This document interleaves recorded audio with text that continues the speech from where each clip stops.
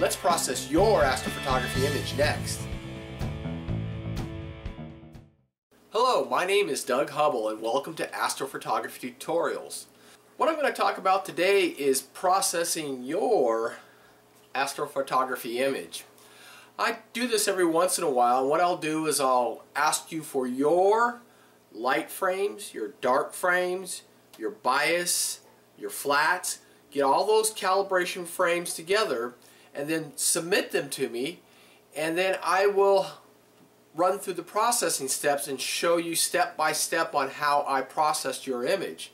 Now not only will I process this image but I'll give your files to uh, everybody else. So anybody else that wants to take a, a stab at your particular image data they will be then able to process it and then hopefully what they'll do is they'll return their results back to me and I'll show everyone in the video uh, how other people do processing steps because each time you, you, you, process an image it always turns out a little bit different and everybody processes an image differently so what I'm hopeful is that we'll be able to see how I process this image and you might be able to pick up a few tips along the way.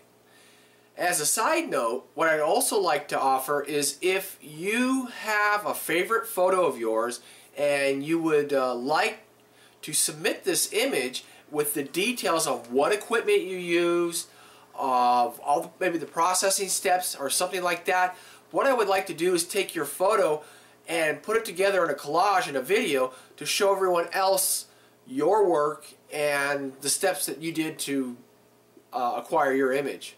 I know there are a lot of talented people watching and I would uh, like your suggestions on maybe processing tips to maybe better help whoever submits their image data to us. So uh, please, if you're not going to submit an image, uh, uh, at least download the, uh, the image data once I get it and then your helpful hints or suggestions and even your photo that you process and submit it back will be very helpful in uh, for everyone to learn. So please take the time, download the data. That should be coming up uh, pretty soon. I'll announce it in another video.